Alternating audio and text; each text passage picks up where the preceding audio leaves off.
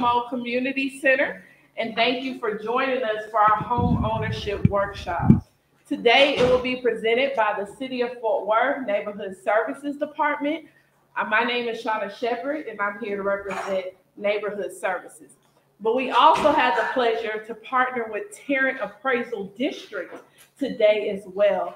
And later on, Jeff Law, the Chief Appraiser, will be here um, to discuss more what TAD has to offer. So he is the man in town. So y'all are here for a treat.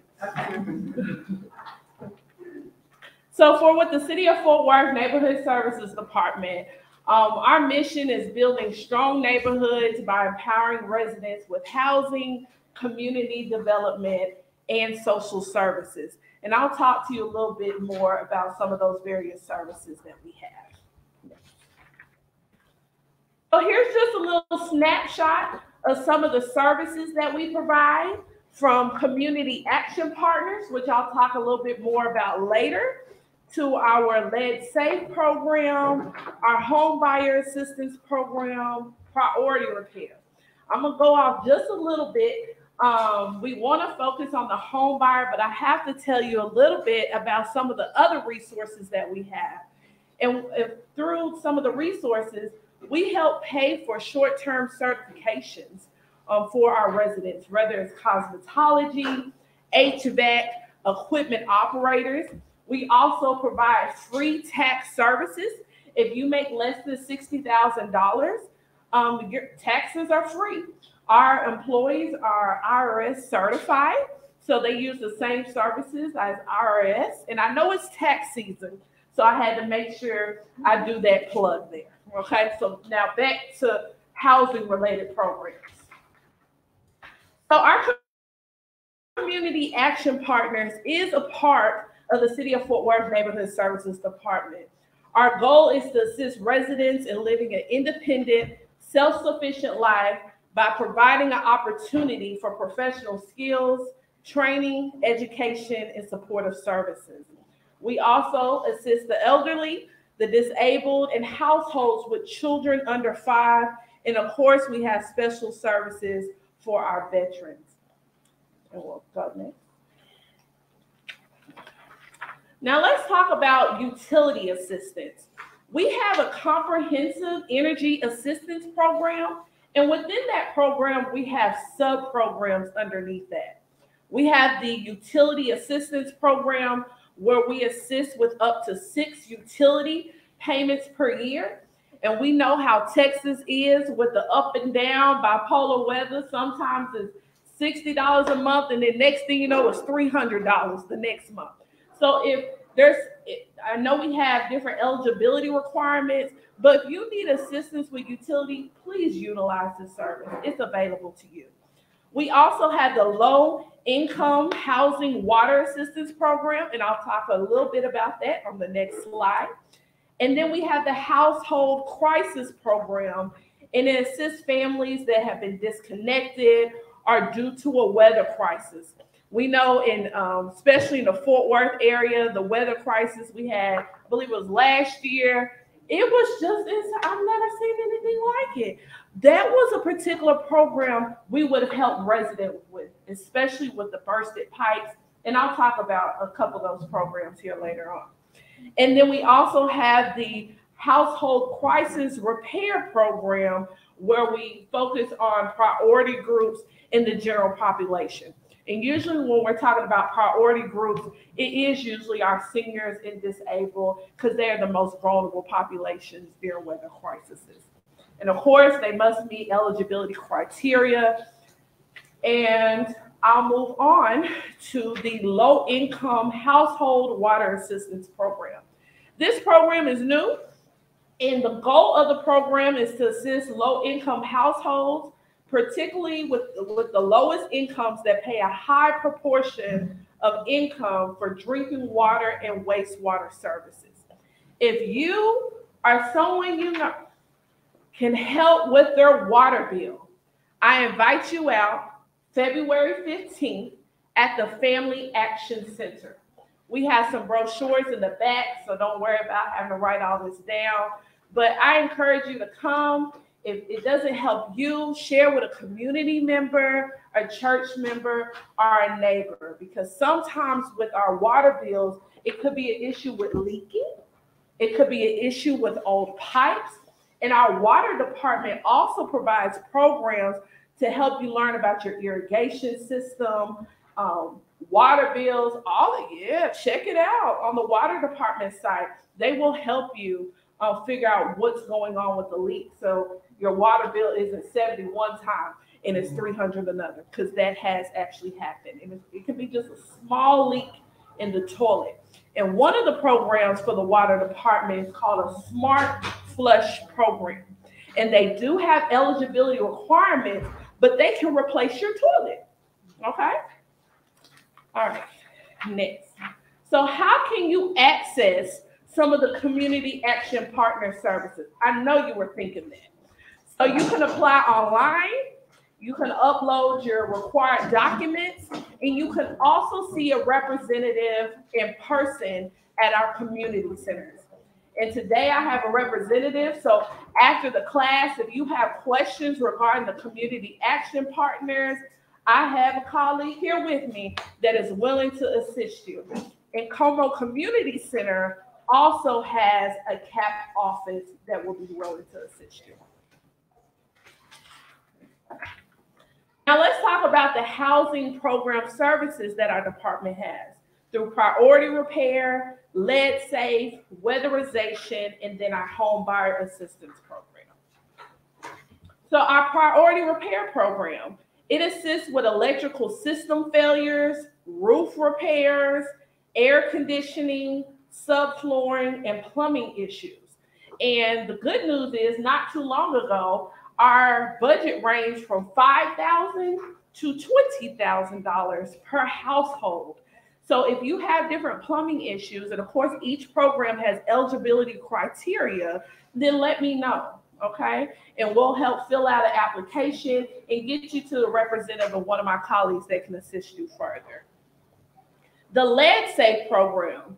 The Lead Safe program are really for houses that were built before 1978, and it does target the elderly and the children. And the reason why, because lead you can't see, right? So how can we help remove that to have a health and safe home? So if your house was built before 1978, you can have an assessment to see if there's lead in your home, and we can have a representative go out there, ensure you meet the eligibility criteria, and get that done for you. Next is the Weatherization Assistance Program. The purpose of this program is to reduce the energy costs for income families, again, particularly those that are elderly, people with disabilities, and children. And some of the examples of the repairs that are done is the attic, the wall, floor installation, um, caulking, weather stripping, and duct sealing. And the importance of that is the window is cracked and it's 30 degrees, and you have the heat on 80 degrees, it don't matter, right? Because it's still cold. So these are some of the programs that are available to you. Just want to keep that in mind. And then they also help with the health and safety aspect of the appliances, checking for the gas stoves, water heater, and proper ventilation. Next is the Home Buyer Assistance Program. They provide mortgage assistance for first time home buyers that have not owned a home in the last three years. Sounds weird, right? Well, first time home buyer, but you cannot have owned a home in the last three years. So if you owned a home in 2000, you have you've been written for the last 20 years, you will be eligible for this program. So it provides up to $20,000 for homes in Fort Worth. You can either use the full 20,000 or use up to 3% of the loan amount. In order to be eligible, you have to be in Fort Worth. You have to be in the home, right? So if you're a realtor or you own multiple properties, one home, okay, where you actually live. And of course, there's additional eligibility requirements. If anyone has an interest in the priority repair program I talked about, lead safe, or the weatherization program, please get with me afterwards because I have application packets and I didn't want to overwhelm you with the information in the back. So just get with me afterwards and I'll make sure you get the information that you need. And lastly, how do you apply for the housing program services? I have included the phone number and the online um, application process. So if you're interested, go ahead and take a snapshot. Let me get out your picture. And they will be more than glad to assist you. We'll click next. Next, I have the pleasure of welcoming the, oh, you need to go back. Let's go back. Let's go back. Would this slideshow be available anywhere after this meeting? I can certainly send that to you. Does that help? Okay. So I'll make sure, um, we'll have a sign-in sheet at the end, so before you leave, please make sure you include your information. I won't sell it, I won't give it to anybody else. I will honor the class today.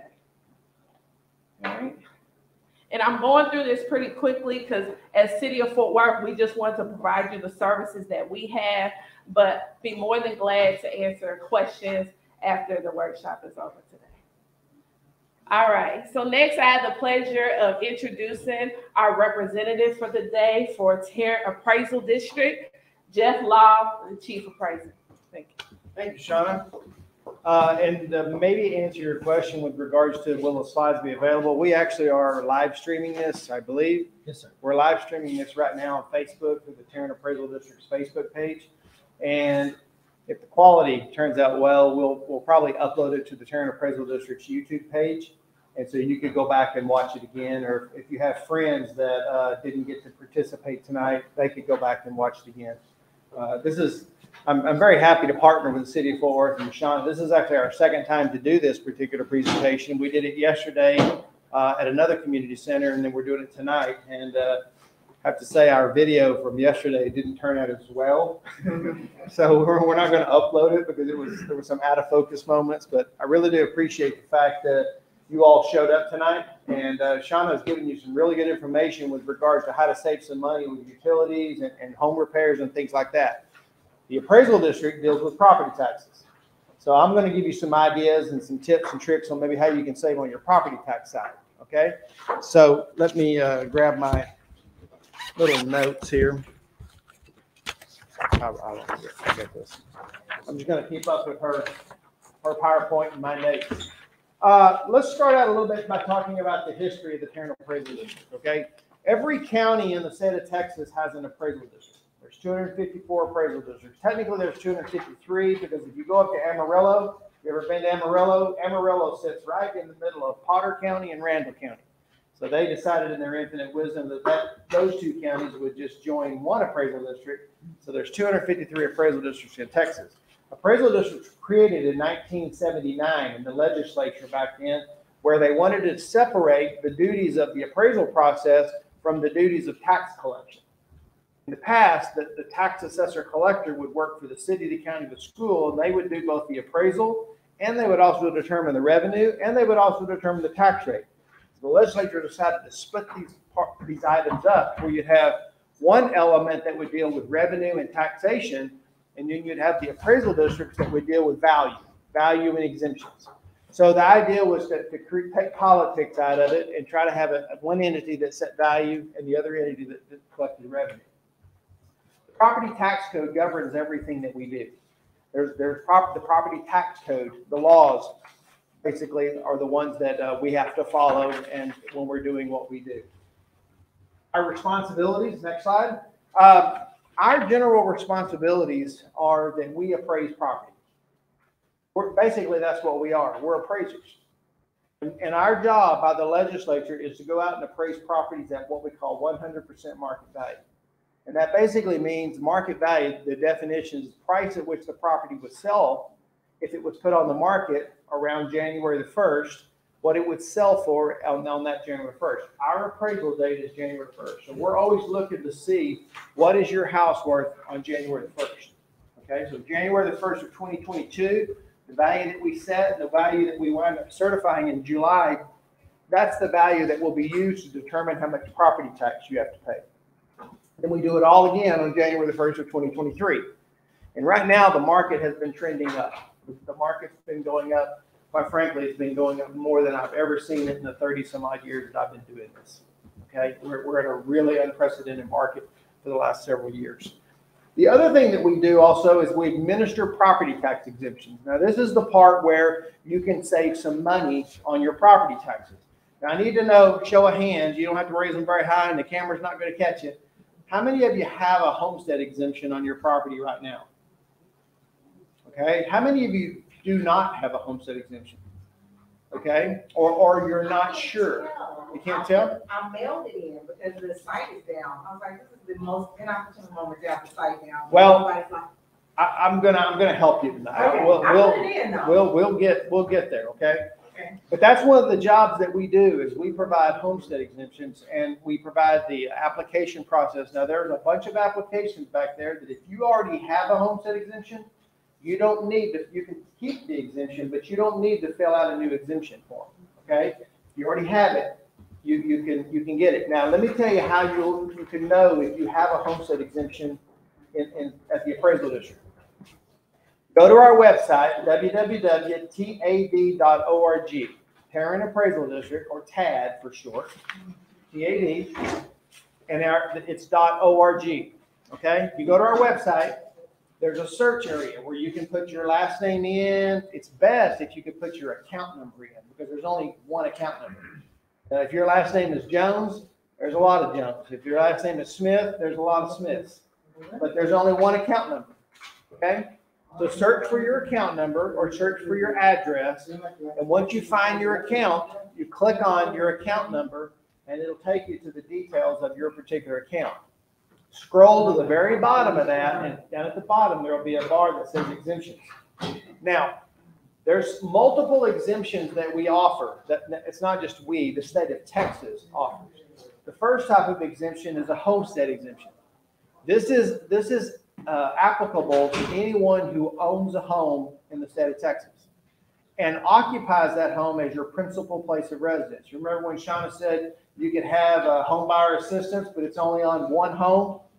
That's the same thing with exemptions. It's only on one home. It's the home that you live in principally, okay? Your primary residence.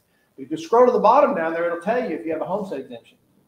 Now, another exemption that's very common that we, we administer is 60, the year, uh, age 65 and older exemptions. Now, I'm not going to ask anybody to raise your hand to admit whether or not they're 65 or older, okay? But if you're 65 years of age and older, you can have a homestead exemption, but you can also apply for a, for an elderly exemption, a 65 and older exemption. You can both. But you can't go to my website and scroll to the bottom and see if you have your over 65. The reason there that is is there's a law that says I can't put anything on the internet that tells anyone what your age is. Now everybody can have a homestead, so I can put that on the internet, but I can't put the 65 and older. Okay, so in that case, you'd have to call us to see if you have the 65 and older. Another way you could do it is how many of you remember receiving the blue the blue appraisal notice that we send out every April? Okay, all of your exemptions are listed on that blue document. If you still have that blue document from 2022, you could go look at that document down towards the bottom third of that. It'll list your exemption. And that one will actually say, yes, you have a homestead, and yes, you have a 65 and older, or you have a disabled persons, or you have a disabled veteran, so on and so forth. It will list all your exemptions on that because that's coming directly to you privately. Okay, so I've mentioned homesteads and I've mentioned 65 and older. Another exemption that we offer is a disabled persons exemption. Now, if you're age 65 and older and you're also disabled, you have to choose between the two. Okay, you can't have both. They basically do the exact same thing. But some people become disabled and they're not yet 65. So if you're disabled and you're under 65, you can apply for a disability exemption. Uh, if you're 65 and then you become disabled, well, you probably have already applied for the over 65. There's no need to apply for the disability exemption. If you're disabled and you're, say, 55, and then when you turn 65, there's really no need for you to apply for the 65 and older exemption because you already have the disabled, which is pretty much the same exact benefit as the 65 and older.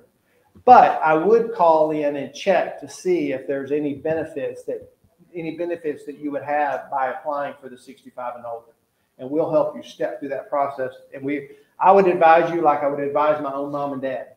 I would look at everything and say, you know what, you're better off just sticking with the disabled person and not resetting to the sixty-five. Or I would do all the calculations, and say, no, you would be better off reapplying, okay? So we'll help you with that.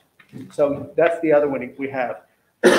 If you have, if you're a veteran and you're disabled, there's, you're a veteran? No, Oh, question. but you're dis- disabled. What, can you lose your disability Uh, for a period of time? I won't take it away from you, but what, what determines if you're disabled or not is if you're receiving social security benefits from the Social Security Administration. What, if you apply for a disability exemption, you fill out the paperwork and you bring it to us, you have to bring us the document from the Social Security Administration showing that you're disabled. We don't make a determination if you're disabled or not. Someone else makes that determination. And it's basically if you're receiving social security, uh, disability benefits from social security. Same thing if you're a disabled veteran. We don't make that decision if that you're disabled.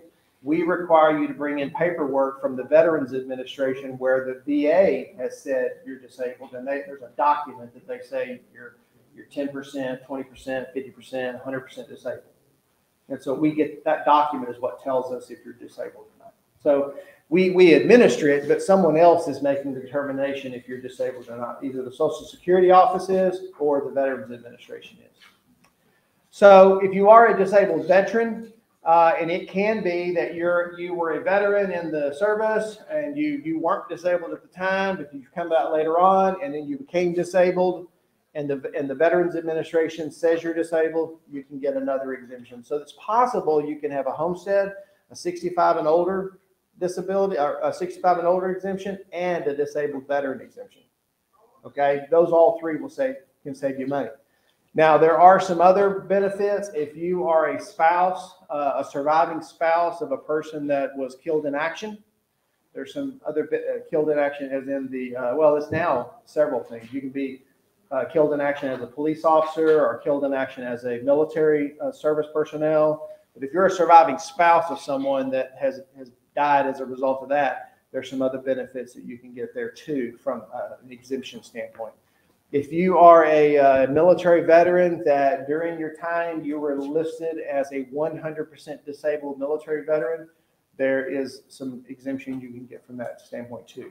And if you fall in any of those veteran type disabilities, you know, you can talk to me afterwards and I, we can kind of drill down a little bit more to see whether or not you might be eligible. But again, all of the eligibility is going to come from the VA. The VA will be the one that tells us what your disability rating is, and then we'll apply uh, and advise you on what you can apply for to be eligible for that. Yes, ma'am? If you've already paid your taxes, does it, would it be to my advantage to apply for this? Absolutely. Great question. She says, if I've already paid my taxes, would it be to my advantage to, to do this? Yes. Because the legislature, the law says that you can actually go back two years. So if you, if you owned your house, and this is January first almost of twenty twenty-three, you lived there on the house on January first of twenty twenty-two, and you lived in there on twenty twenty-one, January first, we can actually, you can apply today in twenty twenty-three, and we can go back two years. And if you, if you do a refund, we will process it, we'll uh, submit the paperwork to the Tarrant County Tax Office, and they'll send you a refund for those prior two years. So yes, it is, it is beneficial for you to come in and do that if you haven't done so. Again, check, check those exemptions uh, when we go back, but two years is as far back as we can go. Yes, ma'am? Quick question. Um, when I was disabled and I found my homestead, show that they don't pay work. But when I reached sixty-five, the tax office changed my status from disabled to over sixty-five. Okay, And I was not notified okay. that they did that. I- All of a sudden, I get this in the mail, going, who changed it? Well, there actually is a, there's another law. You know, I said that we're governed by the property tax code. These laws that I'm referring to is the property tax code. There is a law that says that when you apply for a homestead exemption, when you're under the age of 65, and if you put your birth date on that form, when your birthday comes around, we look at that and say, here's an individual that now qual, may qualify for the 65 and older. We'll look to see if we can verify that you're still eligible for that. And if you are, we'll automatically grant the over 65 for you, so you don't have to reapply. Now, if you don't provide your birthday on that form, then we won't, we won't automatically, we won't know otherwise when you turn 65. I will say for the 65 and older, um, it doesn't matter when you turn 65. If you turn 65 on December the 31st of 2022, you're eligible for the over 65 exemption for the whole year of 2022. So whenever your birth date is, that's the day you need to come in and apply and make sure you have the 65 and older uh, exemption in place, in addition to the homestead, okay? Let me see here. Um,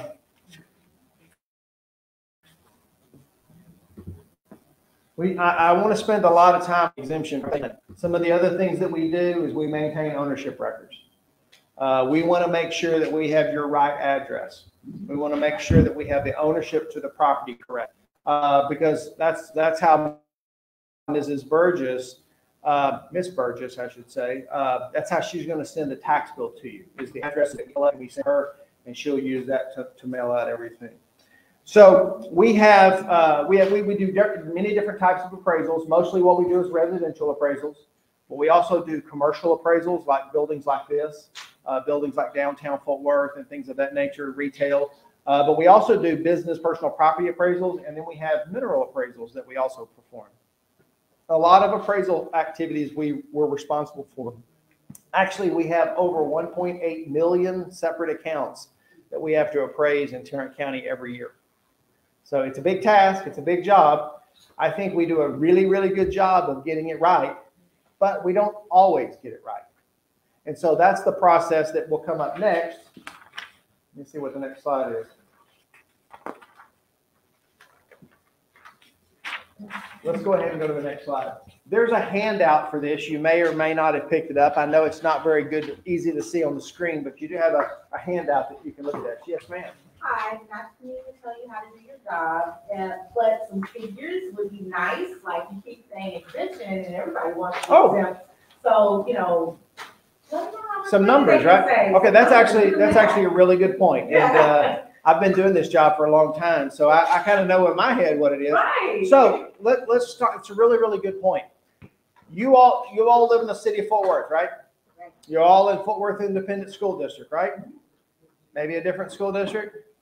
Fort Worth, you all live in Tarrant County, you all live in Fort Worth ISD, and you all live in the city, city of Fort Worth. Let's go with those.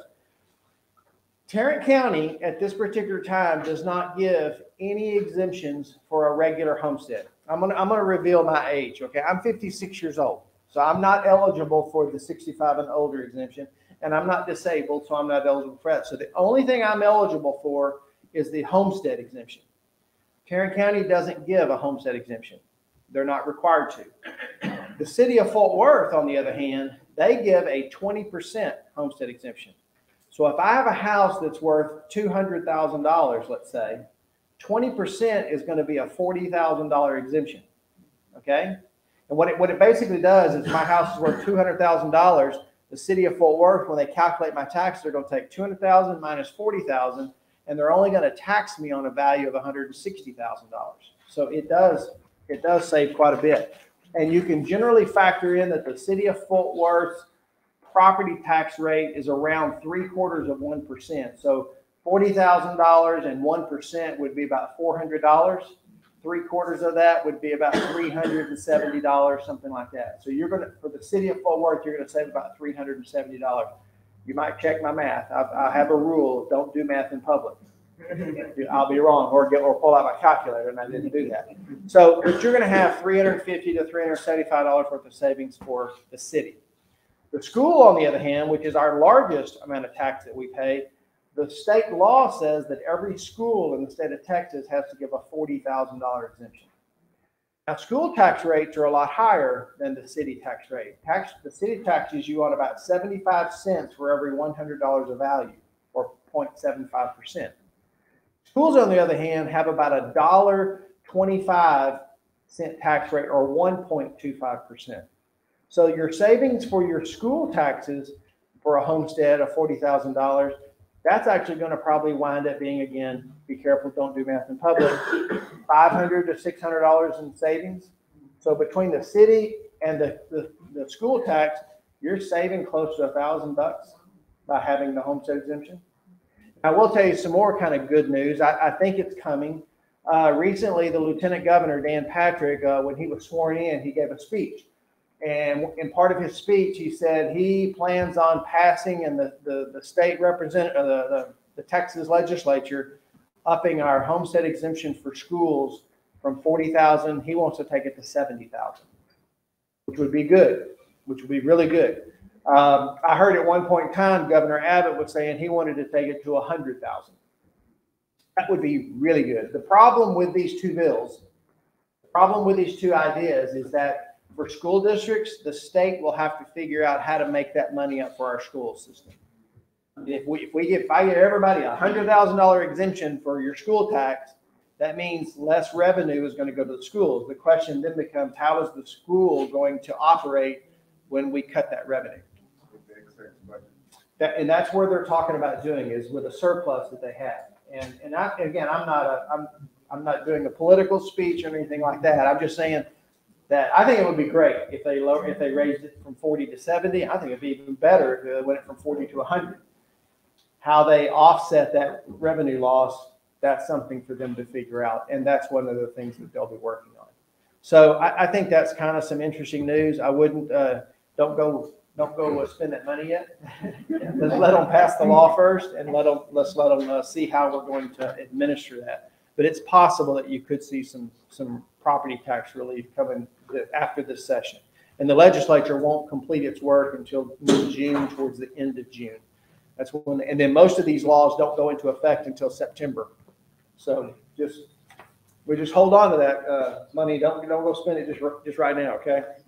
But the, I was, I was talking about appraisals for you before you asked that question, a very, very good question.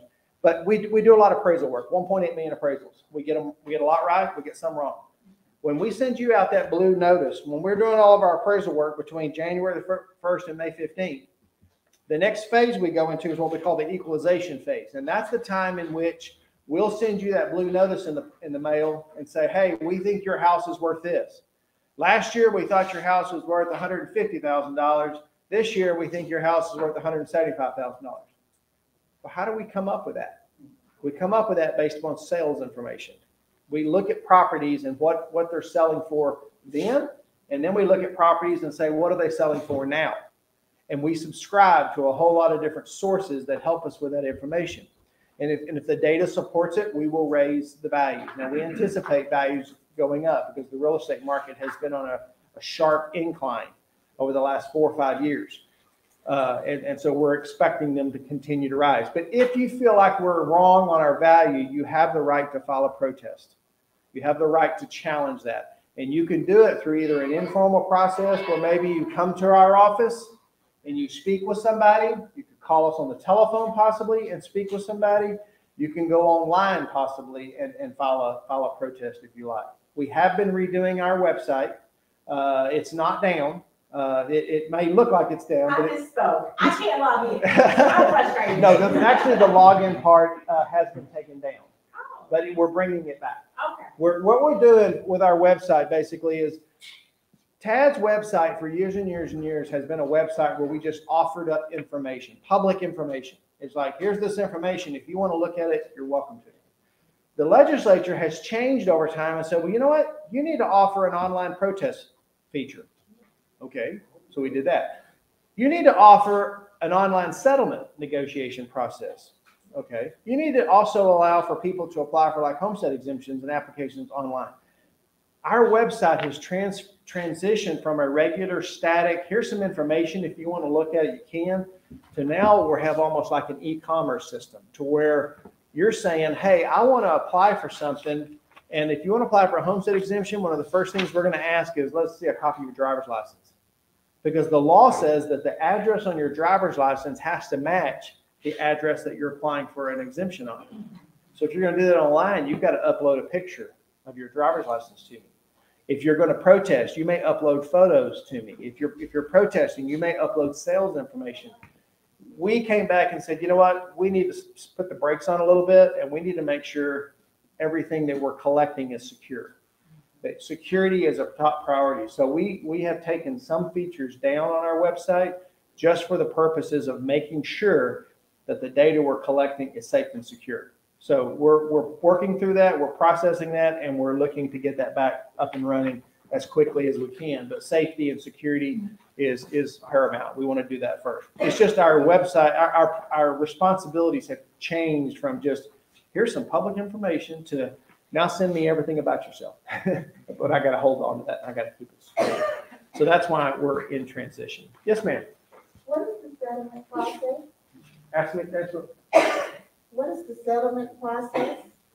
The settlement process, okay. That would be the process in which, when we send you that blue notice, and we say, I, we've raised your value from hundred and fifty to one seventy-five, and you think that's too much, you think you're, you don't, you couldn't sell your property for that, you'll, you'll engage us in kind of an informal process, where you say, hey, I think that's too high. We'll say, okay, well, here's the, some information that we have pertaining to your property. We probably will provide you with some sales information in your neighborhood. And we, you know, we'll, we'll look at it and say, well, here's one that sold for one sixty, here's one that sold for one eighty, here's one that sold for two hundred, but here's one that did sell for one fifty. And through the process of appraisal, we'll look back and say, based upon this information, that's how, that's why we think your property might sell for one seventy-five. You may come in and say, well, hey, my neighbor right next door just sold one house for one forty. Or did you know my house has a, a cracked slab? Did you know my house has foundation problems? Shauna mentioned about a program where weatherization and roof repairs and things like that may be available to homeowners in Fort Worth under certain eligibility requirements. But maybe your house does need a new roof. Maybe that's something we didn't know about. Maybe we don't know about uh, water damage that was from the freeze that maybe hasn't been repaired, things like that. So if you share some of that information, we may come back and say, you, you know, I think you're right. Maybe, your- maybe your house is still only worth one fifty. Once we agree to that, that's the settlement process. That's us coming back and, and agreeing upon a value. We may provide information that says, you know, I don't think it's worth one seventy-five, but I think it's worth one sixty-five. And you come back and say, you know, based upon what you've shared with me, I agree it's not worth one seventy-five, but I, I would agree it's worth one sixty-five. And then when we agree, we settle that protest issue, and there's some paperwork that we, that we have, uh, to initiate that settlement. So that, that's basically the settlement process. Okay, let's see here. Once, and I'll go through this, oh, we got one back here. Yes, sir. Is there any expense for the parking lot? Okay, let me, can you take your mask off and ask that question? Yeah. Is there any for a second house? Okay, no, there is not. That's another very good question. You're only allowed your homestead exemption on your primary residence. And you can only have one primary residence. And again, state law says that your driver's license address has to be that primary residence. So you can't have two addresses on a driver's license, right? So if you own, if you own a home and then you own a rent house, you can apply for the homestead exemption on the house that you live in, that you reside in. Now, if you are a disabled veteran, technically the disabled veteran exemption doesn't really pertain to a homestead. You can actually put that exemption on a rent house. You can have your homestead on the, on your home that you live in, and you can have your disabled veteran exemption on the, on a rent house. So, but no, you can only have one homestead. So back to this quick calendar, we appraise, we do this settlement process in this equalization phase. In this assessment phase, this is where your, the appraisal district does this part here. The appraisal and the equalization. This assessment phase is actually done by your elected officials. This is the time in which they are working on their budgets and they're setting tax rates. That's your school boards, that's your uh, city councils, that's your county commissioners. And then this collection phase is where Miss Wendy Burgess gets involved. And she takes the tax rates that are set by your elected officials, applies them to the values that we came up with and mails tax bills out. And then she starts collecting property taxes in this collection phase here.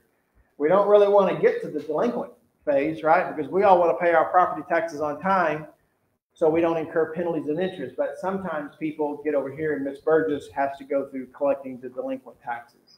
But that's a really good uh, calendar there if you want to kind of hold on to it. Go ahead and go to the next one. I'll wrap up pretty quickly. We're located at uh, 2500 Handley Ederville Road. If you know where the, we're over in kind of the northeast part of Tarrant County, close to Northeast Mall. Uh, right there at where 121 and 820 kind of come together. That's where we're located. Go ahead. Uh, we're open Monday through Fridays. Uh, the community role I've kind of already talked about. We can go, this is where there's 73 different taxing entities in Tarrant County. There's one county, but there's about 26 or 27 cities. There's about uh, 18 to 20 school districts. There's a hospital district. There's a junior college district. There's a Tarrant Regional Water District. There are some municipal utility districts in Tarrant County. So, of, and all of those different entities can levy a tax against properties. Now, where you live determines which ones are levied against you. You have Tarrant County, you have Tarrant County Hospital, you have uh, the Tarrant County Junior College. You may or may not have the Tarrant Regional Water District. You may or may not, you have the city of Fort Worth, you have Fort Worth ISD. I think those are the entities that most likely you, you have to pay taxes to. Um, But other, other folks may pay to Keller City, Keller ISD, things of that nature, depending on where they live. But there's 73, and they are the ones who handle the actual tax rates, which value is an important part of property taxes, but the tax rate is more important. Okay, because what your house is worth is, is just that. It's what someone would be willing to pay you for your home. And I've never met anyone yet, you know, that, that hopes their value really, you know, hopes their home loses value. They want to see, it's your, it's most likely your biggest investment, right? It's the thing that you've probably spent the most money, money on, so you want it to continue to grow in value. But the tax rate is something that's set by the local elected officials to generate revenue. And when that tax rate's applied to your value, that's, that's what determines how much tax. So yeah, you, we need to make sure the value's right, but you also need to make sure and hold your elected officials accountable too, to make sure they're not setting tax rates too high.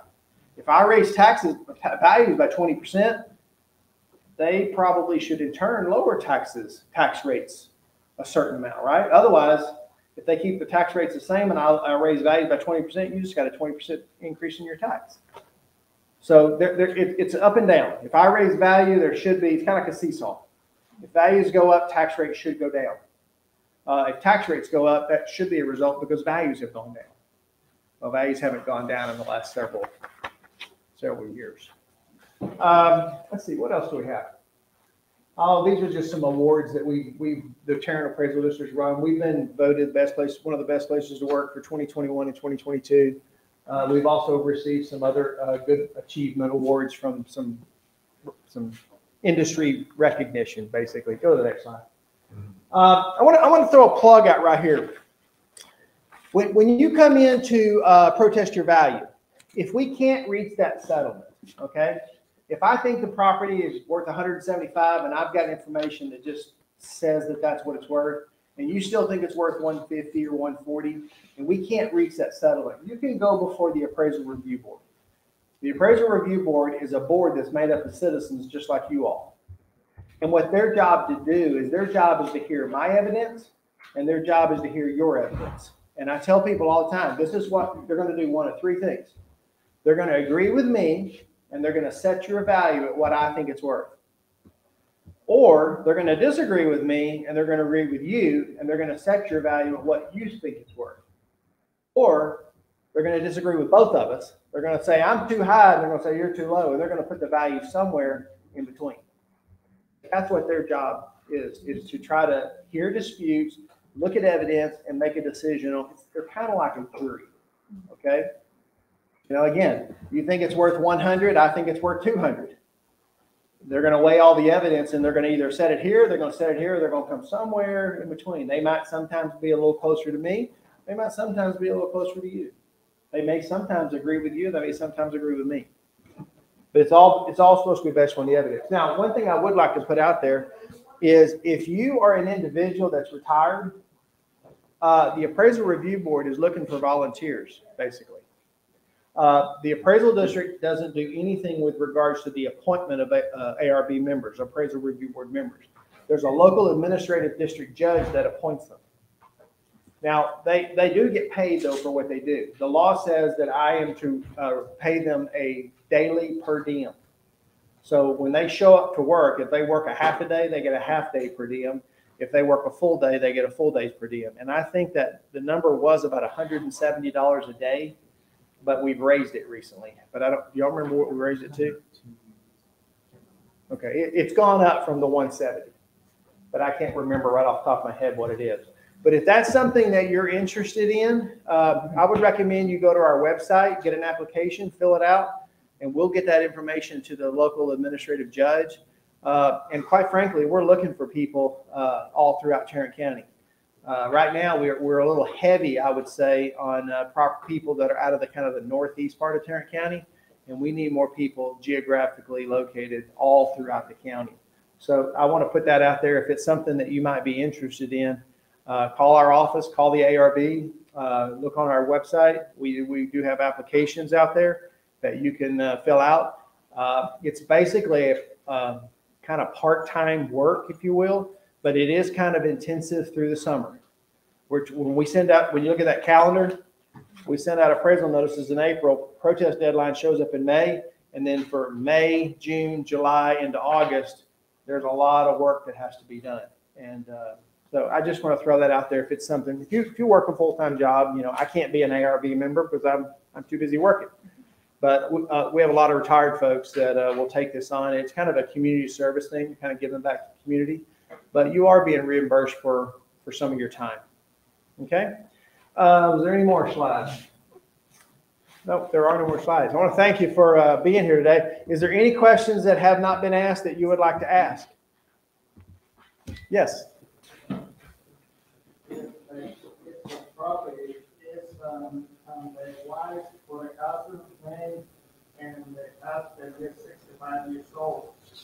Will that be able to apply for the sixty-five? Yes, that's another great question. His question was, is you got a husband and wife, and uh, both names are on the property, and the husband turns 65. Can the husband apply? And the answer is yes, you can.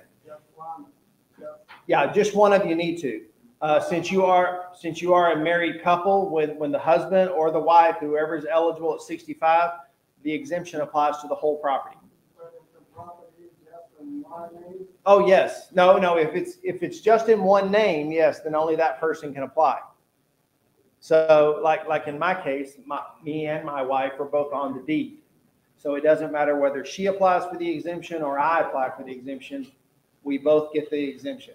Now, I will tell you this, that, uh, and we have had this situation, let's say, let's say a, um, two best friends go and buy a house together. Doesn't matter whether it's two guys, two girls, or a guy and a girl. Doesn't matter. They're not married. If they come in and apply and their names are on the deed as Bob Smith and Tom Jones, they each would have to apply. And one person would get half of the exemption, the other person would get the other half of the exemption. But in the case there, if say one was 65 and older, they'd only get a 65 and older on half of the property. But when you're married, we treat you as uh, one one individual. And there are some other benefits too. That let's say, let's say you're married and it doesn't matter who, but one of you is 65 and you come in and apply for the benefit, and later on, a year or two later, that person passes away. If you are over the, if you are 55 years of age or older, you get what's called a 55 surviving spouse benefit, and you get to keep the over 65 exemption when the other person passes away. Kind of same thing happens with some of the disabled uh, exemptions. If you're married and, and, then, and the person passes away, you can, you can kind of retain the others, what's called a surviving spouse benefit. But if you remarry, you may lose that benefit um, unless, unless you're 65. So there are some benefits there. The legislature's been real kind as far as allowing those benefits to remain in place. Now, I will tell you this. If, if you're turning 65 now, or, or you just turned 65, or you've been 65 for a few years, and you decide that you want to uh, add a, add on to your home, the que- another question that should be asked is, well, once, once I turn 65, one of the best benefits is there's something called a tax ceiling, which basically means that the year in which you turn 65, we'll calculate what your school tax, your city tax, your county tax is, and some of these others. And whatever it calculates at, that's the most you'll ever pay. It's called a ceiling. You'll never pay more than that ceiling.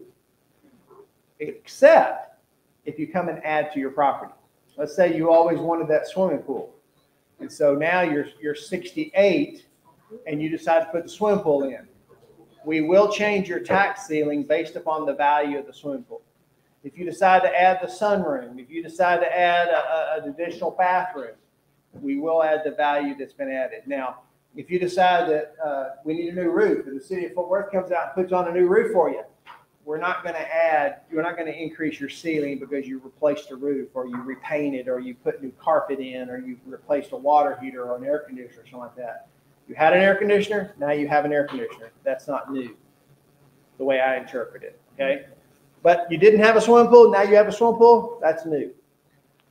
You had a three-bedroom house with one bath, and now you have a three-bedroom house with two baths, you, you had a new bath, so that, that's new. So we will add that. Yes, sir. Let's say you went through the exemption process and got a, it reduced one year. You come back the next year, can you use those same criteria that you used that year for the reduction, like it may have further deteriorated?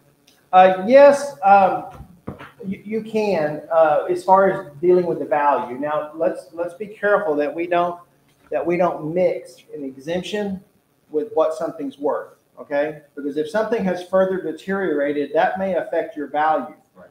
But if you're sixty-five years of age and older, and you, you've got a ceiling set on your taxes, and your value keeps going up and up and up and up and up and up and up, I, I tell, I told my mom, when my mom and dad turned 65, I said, once you get this 65 exemption, I said, don't ever protest your property value again.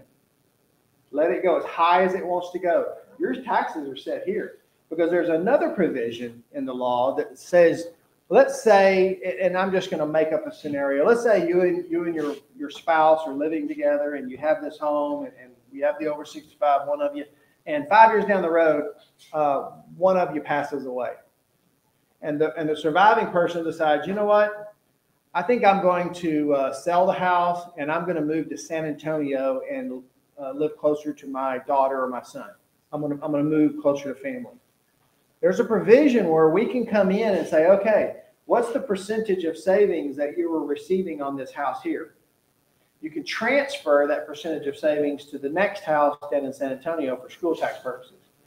And, and the benefit is, is that if, if this value goes up and up and up and up and up, the percentage of savings gets bigger and bigger and bigger and bigger. I've actually seen people come in and they want to argue with us and they want to beat the value back because they've always, they've been programmed in with, we got to protest, got to protest, got to protest. And I tell them, I'm like, look, if, if you'll, if you'll just let the value do what the value is going to do, and then if you decide to, which we called it prorate, it's a proration, you actually will have a bigger benefit coming your way if you just don't protest. Now, I know that sounds at odds. It sounds opposite of what you see on Channel 5. That's not what they tell you about. But I'm telling you, because I've done the calculations, when you turn 65 and you get that tax ceiling set, you don't need to worry about your value anymore. Now, I will tell you this. For people who uh, have the hospital tax and the Tarrant Regional Water tax, they're not allowed to offer by law a ceiling. There, that tax can continue to go up, but I'll tell you, that tax is relatively small compared to everything else. Charlie Geren, how many of you know Representative Charlie Geren? He's actually introduced a bill this year, this session, that would require all taxing units to honor a ceiling. So therefore, and I hope it passes, because it'll allow the, the hospital district and the Tarrant Regional Water District to have to establish a ceiling. Then when you turn sixty-five and you don't add a swimming pool or a, a deck or something like that, your taxes will never increase. And if your taxes never increase, you don't have to worry about what the value does. But yes, you can come in and argue that, hey, my value is too high. I think it needs to come down. If I've got a tax ceiling over here, if it was me, I, I, I'd go back to watching the football game. I'd go back to watching the home game. I was pretty much referencing, uh, rental property. Now, rental property is completely different. Yeah, you can come in and argue every year that, hey, I think my value's gone down. Just bring the evidence. One thing I suggest you never come into the appraisal review board is don't come in and say my taxes are too high. You're not here to protest taxes, you're here to protest the value. The appraisal district doesn't have anything to do with taxes. All we have anything to do with is value. And when you come in and you tell, hey, well, I think my taxes are too high, the, the advice you may get was you need to go talk to your elected officials because they're the ones that set the tax rates and determine how much tax you have to pay. But if you come into us, you're here to protest value. And here's some photographs, here's some uh, estimates of repairs, here's some evidence that would suggest that the value we have is, is not correct. And again, I'm not going to tell you that we're, we're right all the time because I have 1.8 million pieces of property to appraise every year. I don't know everything about your property. You know more about your property than I do. You know more about the repairs that it needs. I, I get to drive by and look at your house. I have no lawful authorization to come on your property. I can come up, knock on your door and say, hey, we're here. Can we remeasure certain parts of it? And if you say no, get off my property. I'll probably tell you that's perfectly fine. I'll, I'll estimate from the street. I can do that. But I can't come in your house. I have no, I, have no authority whatsoever to come inside your home and look around. Quite frankly, I don't want to because if I can come inside your home and see all the interior, but I don't get to come into her home and I don't get to come into his home, it doesn't really make it fair for you and it doesn't make it fair for them. So we, we try to be uniform in how we do our appraisals. So we don't typically come in people's homes. Now, people will bring us photographs and say, look at the, what the foundation has done to the walls and the cracks and everything like that. We will take that kind of stuff into consideration, which we may not know, we may not know anything about. So I could just go on and on and on, but I won't. Any, anybody else, any final questions before I wrap up? Well, we thank you for coming tonight. We appreciate it. Uh, This is uh, the second one we've done, and we have four more, if I'm not mistaken. So, thank you all for your attention.